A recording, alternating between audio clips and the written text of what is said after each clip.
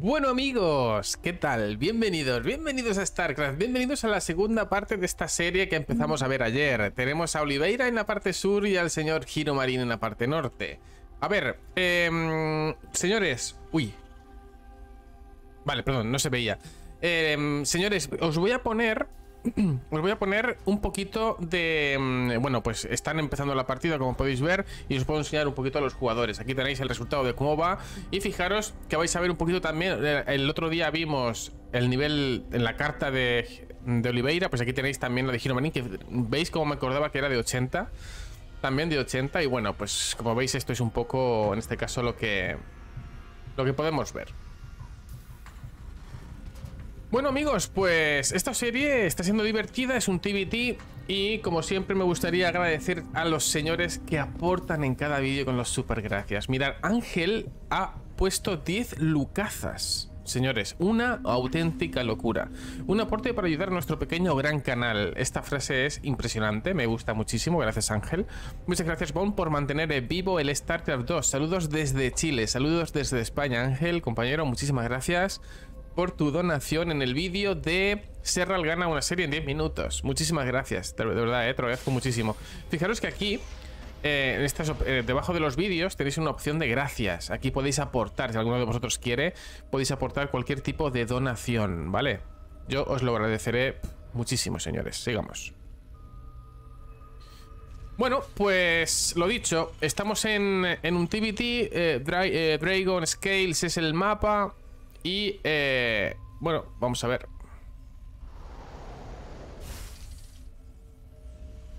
Vamos a ver, damas y caballeros, de qué va la vaina, ¿verdad?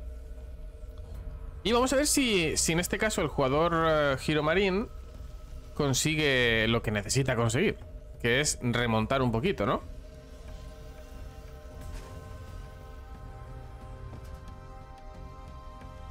Vale, voy a dejar esto preparado para después poder eh, seguir viendo cosillas interesantes.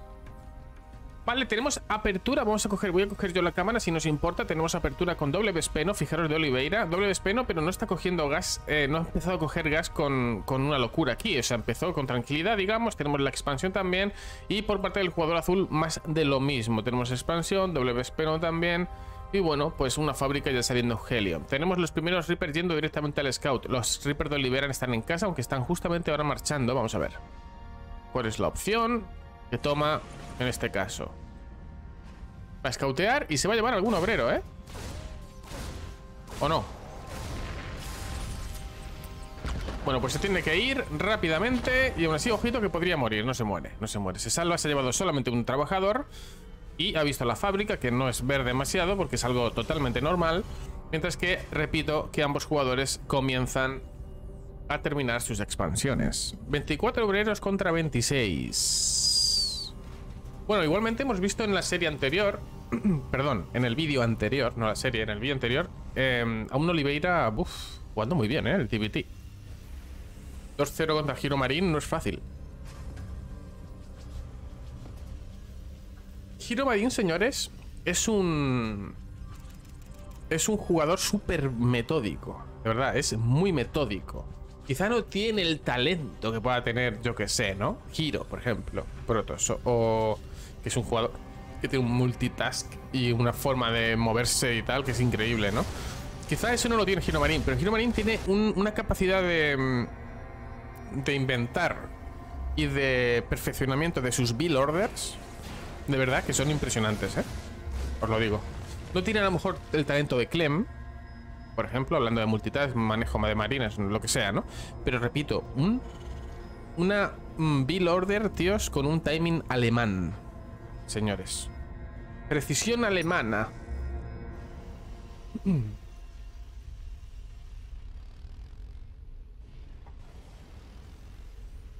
Precisión alemana. Va a llegar R2 al despacho y me va a fastidiar la grabación.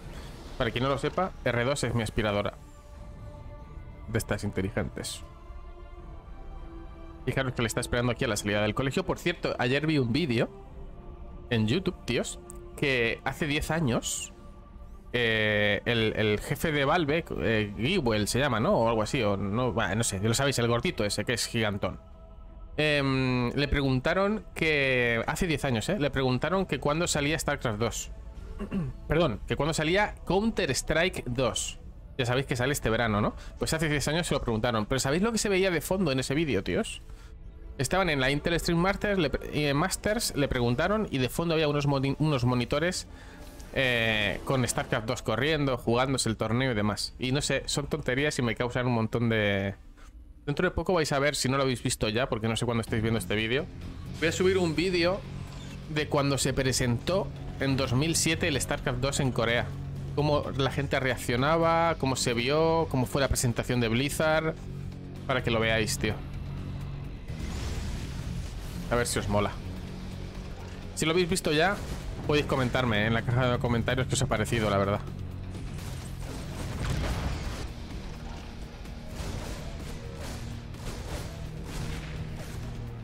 Uf, mucho cuidado porque los, eh, los Reapers de... En este caso del Terran Azul van a morir. Le echa un scan, empieza a plantar los tanques y mucho cuidadito porque Giro Marín está en modo agresivo, ¿eh? Modo muy agresivo. Ojo esa mina. Menos mal que va ese marine por ahí. Y solo se va a morir un marine, quiero decir.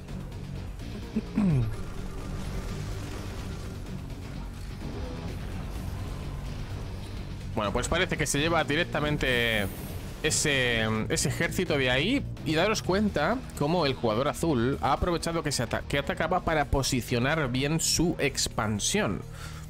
O sea, han metido presión, pero no para presionar, sino para estabilizar su tercera, lo cual es Siempre os digo lo mismo cuando jugáis en el ladder, señores. No hay mejor forma de poner expansiones que irse al ataque. Te vas al ataque y te expandes. Es un tip que funciona muy bien en general.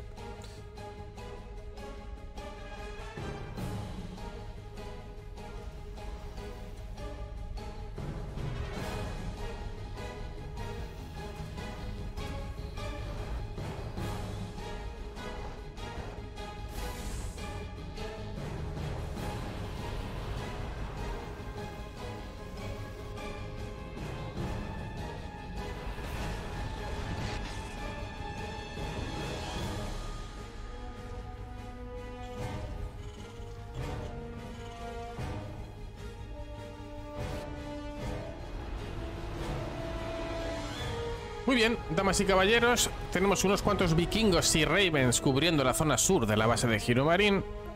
Sospecha algún tipo de ataque por ahí. Voy a coger yo la cámara porque me estoy empezando a marear. Tenemos aquí las tropas, ¿eh? Lo va a ver, lo va a ver, lo va a ver. Son dos medevac las que están directamente intentando, ¿eh? Y no cae... Uh, sí, va, va a caer, ¿eh? Ojo, ojo. Qué mala suerte de timing, tío. Qué mala suerte de torreta, señores. Ahí le va a dropear y mucho cuidadito. Porque mientras tanto intenta presionar esta zona. Con estos dos tanques se va a volver. Aquí está empezando a caer eh, algunas unidades. Va a caer el Vespeno. ¿Y va a caer también el gas? No me lo creo. ¿Qué hace? ¿Qué ha hecho Oliveira ahí, tío? ¿Qué decisión de mierda acaba de tomar? En vez de cargarse la torreta e irse Ha dejado todo en llamas Vamos a ver si le da tiempo Esto se muere Sí, repara Vale, y mientras tanto aquí tenemos las agresiones defensivas del jugador azul que consigue defenderse perfectamente. Tenemos a un Giro Marín jugando esta parcela, ese mapa muy serio, ¿eh? Quiere devolver la gloria a Alemania.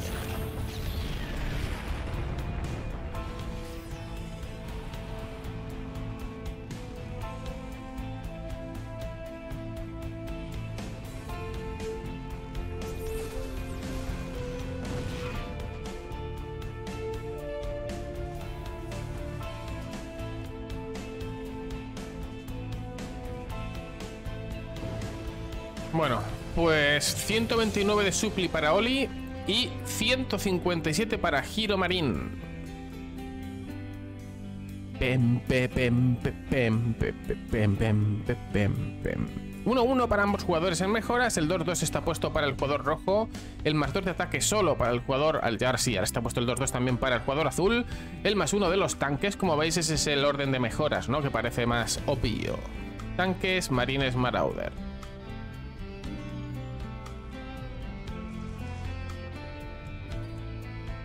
Pues mucho cuidado porque realmente Oliveira tiene ya la cuarta base.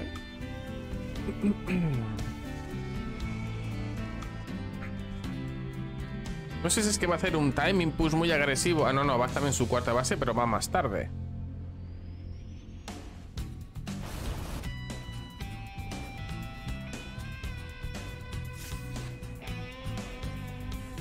Allá que van esos marines, ojito, adiós a la medeva.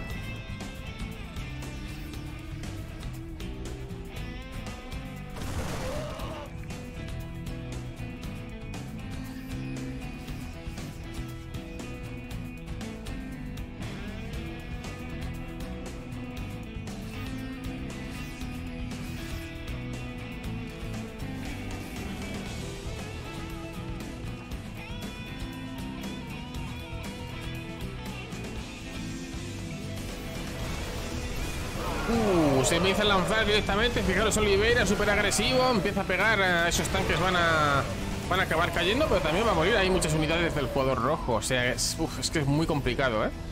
La verdad. Saber cuándo tirarse, cuándo no.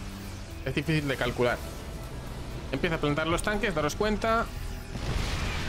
Fijaros que lo que decide es romper esas rocas. Ojo, ¿eh?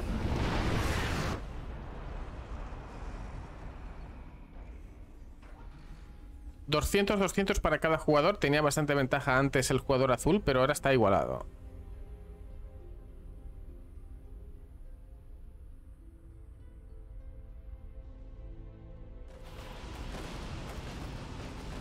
Y fijaros cómo luchan entre, entre torretas de sensores para no desvelarse. Aquí no hay absolutamente nada.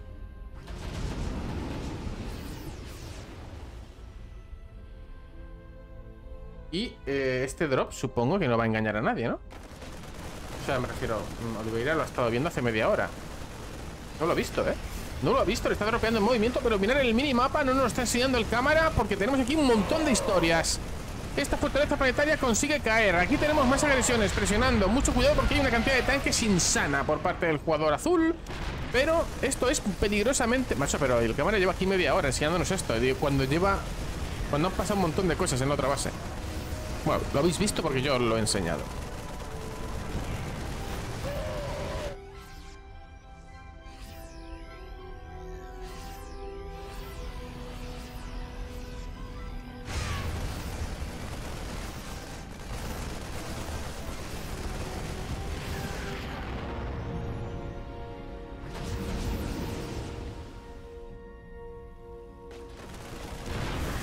No entiendo, Oliveira, que, ¿por qué no, está defendiendo, tío, este drop?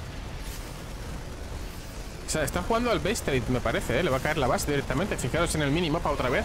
Que ahí tenemos las tropas del jugador rojo llegando. Tiene que empezar a plantarse. ¿Está haciendo barracas? Ah, no, no, esto es la zona... Ojo, ojo, se le cuela aquí. Se le cuela aquí Oliveira. Se va a caer eh, rápidamente ese Raven, pero son muchas unidades. Tiene que poner el rally point en algún otro sitio y mirar la cantidad de marines que están saliendo. Y, es lo que necesita, ¿eh? En estos momentos defender. Vamos a ver si lo consigue. Pero mientras tanto aquí tenemos la madre del cordero de los tanques también pegando.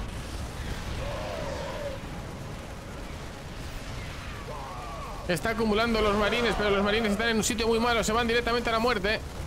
Se van directamente a la muerte, compañeros.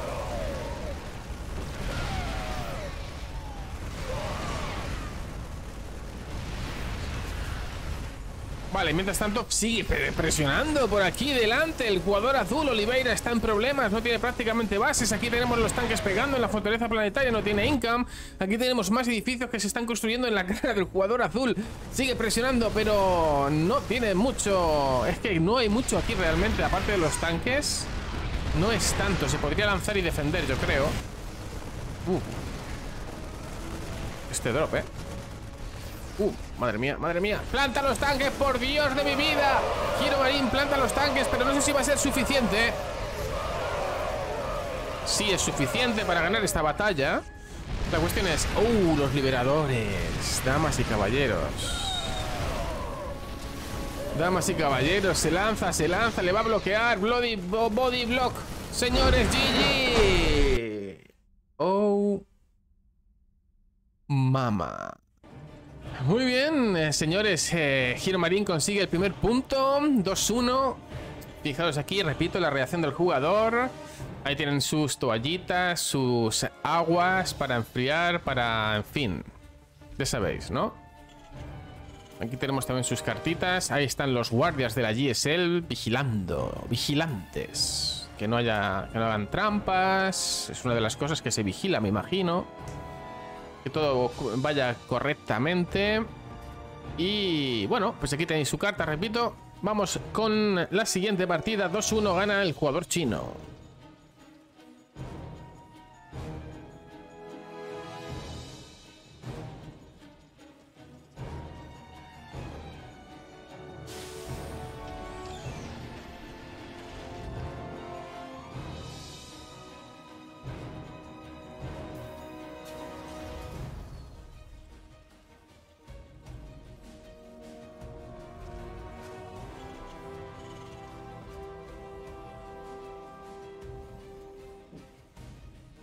Uh, uh, uh, que la lío, que la lío, perdón, perdón, que la lío. Vale, está aquí puesto directamente. Minuto 2 de partida.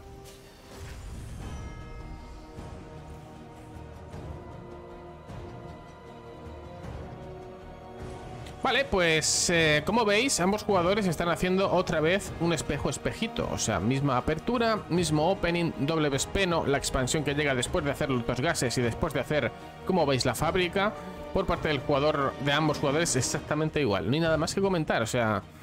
Es que, daros cuenta, priorizan el doble gas para coger mucho vespeno y poner esta fábrica rápido.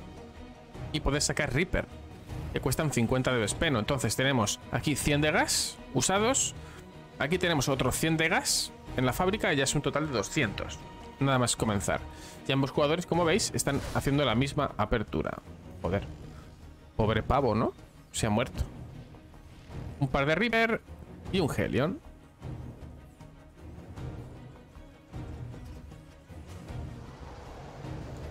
Tenemos 24 obreros para cada jugador, 6 C7 y damas y caballeros. Eh... No sé, yo creo que está bastante igualada. La última partida nos ha, si, algo nos ha dicho la última partida, señores, es que, que Giro Marín tiene nivel suficiente como para poder ganar. Ya está, eso es lo que nos ha dicho. Por lo tanto, veremos.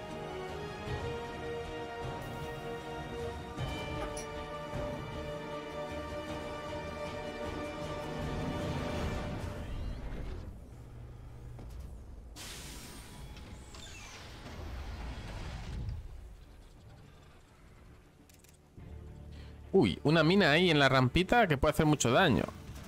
Si cuela, cuela, ¿verdad? Raven en producción, Ciclón en producción para Giro Marín y Marines.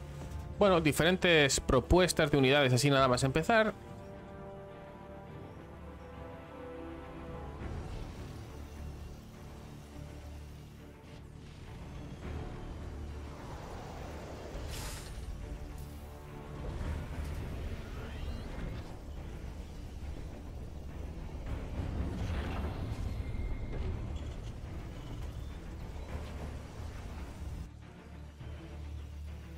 He tenido que sacar a R2 de aquí, que si no, iba a hacer mucho ruido.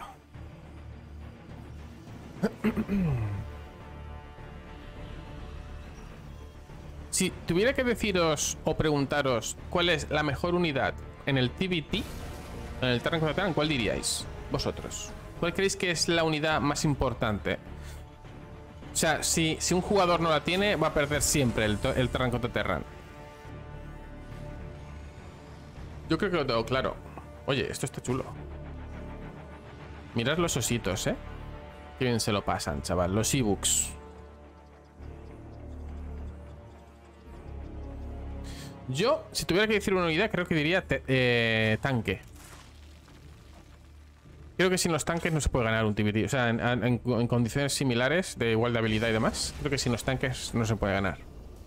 Sin los vikingos, aunque es, difícil porque te dan más rangos, creo que se puede ganar si le tomas la posición, se pueden ganar partidas. Si el Raven lo mismo, sin marines, tal, pero sin tanques, Uf, creo que no, ¿eh? No sé qué pensáis. Bueno, ya va la tercera base del jugador azul directamente. Estos jugadores están jugando tácticamente muy concentrados, tienen claramente las build order en la cabeza, tienen incluso entrenadores, compañeros que les ayudan. Y, mm, y, no pueden confiarse. Estamos en minuto 6, están jugando muy estáticos ambos jugadores con una macro perfecta. Entonces, claro, nosotros desde fuera podemos pensar, ostras, tenéis que pensar lo que se juegan vosotros. O sea, esa tensión que se está, mm, entre comillas, pues bueno, ¿sabes? Gestando ahí.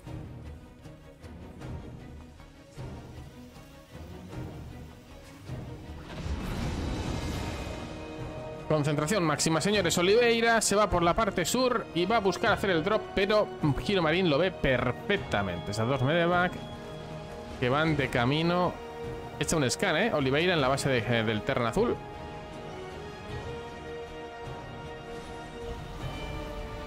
Para ver exactamente el build. Supongo. Minuto 6.40.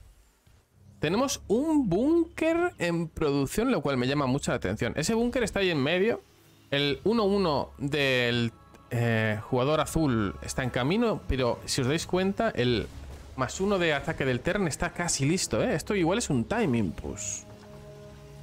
Este mapa es muy peligroso poner ahí la... Es muy peligroso ponerse ahí. De verdad que es muy peligroso ponerse ahí.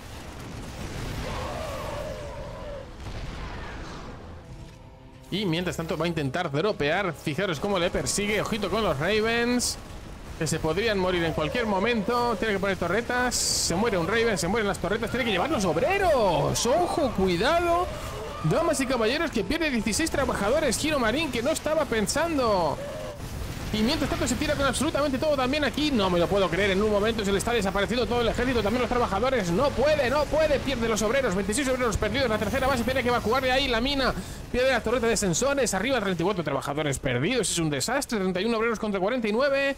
Y repito, ese más uno, esto era un timing push, ¿eh? Fijaros, ese más uno de Oliveira nos enseña que esto era un timing push pensado y analizado por absolutamente todos. 67 de población contra 109 el jugador alemán que no se quiere salir de la partida porque ya sabe que si pierde esta partida lo eliminan del mundial y quiere darlo todo, tío. Quiere darlo todo, pero es que es muy difícil. Es, lo tiene muy difícil en estos momentos. Podría remontar, pero es muy difícil. Vamos a ver.